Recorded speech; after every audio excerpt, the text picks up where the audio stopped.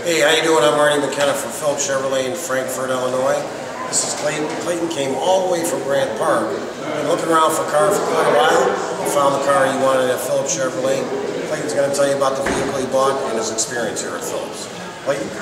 Hi, Marty. I bought a 06 uh, Trailblazer SS. It's a vehicle I've been looking for. A lot of dealers didn't have it. Phillips had it. Uh, they were willing to work with me, give me the vehicle I wanted to get at the price I wanted to be in, and uh, Marty was very helpful. And I got the deal done the way I wanted it to be. The service was great. Well, I appreciate your business. Good luck with your new vehicle. Thanks a lot. Thanks a lot.